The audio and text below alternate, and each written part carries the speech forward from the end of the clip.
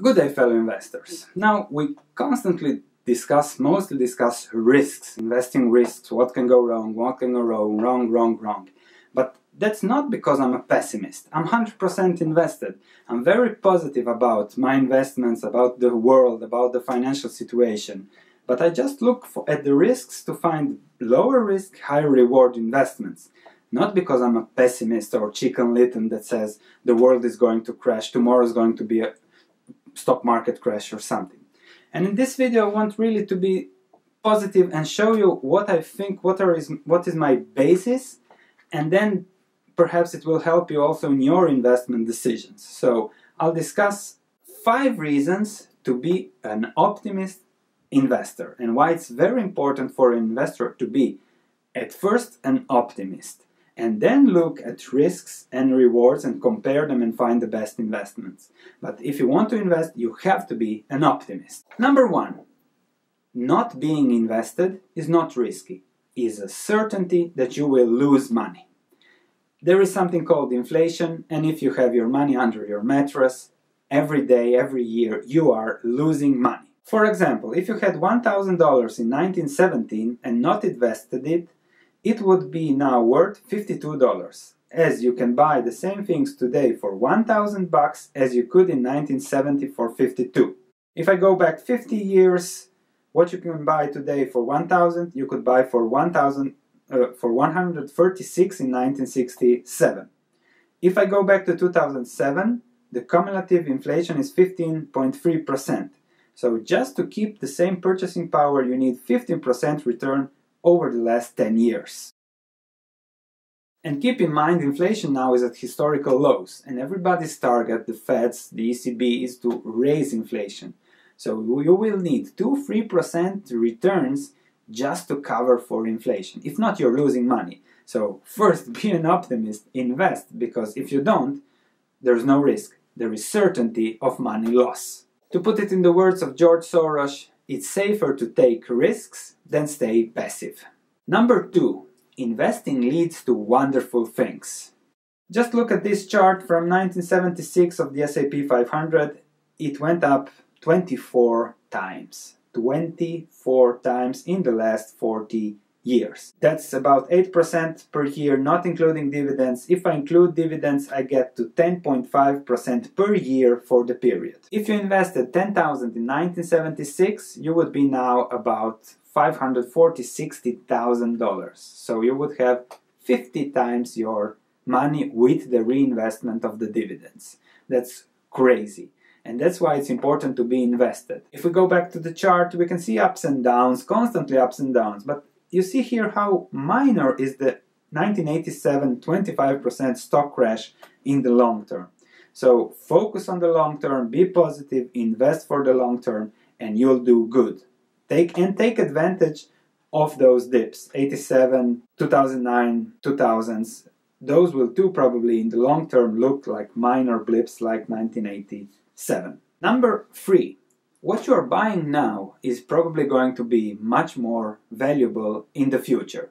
There is inflation, there is economic growth, everything develops, everything grows. There is compounding where the companies reinvest in new businesses, grow, explore, become bigger, higher earnings, higher dividends. Of course, nothing is linear, but ups and downs, economical ups and downs, and you can't go wrong there. And if you buy now, you hold something that's valuable, that's creative, that grows like every business. And if you let it grow in the long term, you are definitely going to do well. And what's the benefit? What you pay now will be a small price of what you get in the future. And that's why investing is so nice. You have so many positives in the long term and practically no negatives if you are doing things smartly. To stay on this topic, one of the most common phrases I hear lately is that it's better to rent than to own a home. Because owning a home, oh my god, you have to work on it. It's better to rent, it's fast free. And we can see that the home ownership rate with millennials is really declining. Millennials prefer to rent. I think that's a terrible, terrible thing to do because if you buy a house now, with a fixed interest rate for 30 years, you can still move. You can rent that house out and rent something else. So you can still move, but 30 years from now, I really think home prices will be much higher. If we look at the last 40 years, home prices in the last 30 years are three times what they have been. So in 30 years, you buy now a house for a million, those, that house will probably be 3, five, ten millions in 30 years. The mortgage, however, the mortgage payment with a fixed interest rate will be always the same. So you will pay 1 million over the 30 years with interest, something more, but after 30 years you will have 5, 10 millions of value. So it's really important to understand that concept, inflation, economic growth, value, demographics, that in the long term it's very positive.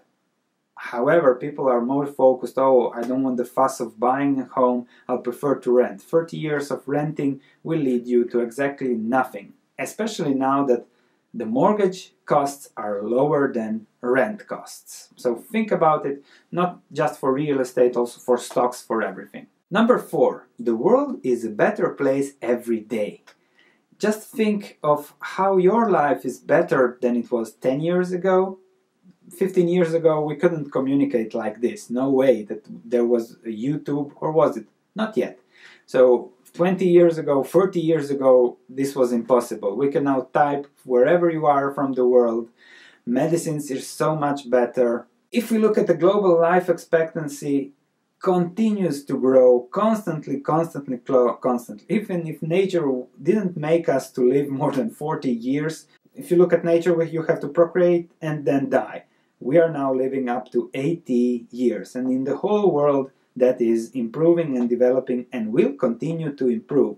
The children born now are expected to live even more than 70 80 years in the developed world, while those born in the 1960s were expected to live 65 years. So that's a difference of 15 years, 15 more years of consumption, pensions, enjoying your life, being healthy, unfortunately also medicines when the, doors are needed.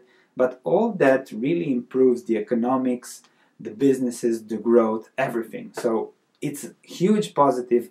And if you keep it in mind as a basis for investing everything is much easier. All those short-term panics are a bonus not a terrible thing. Number five when you're an investor you are a business owner.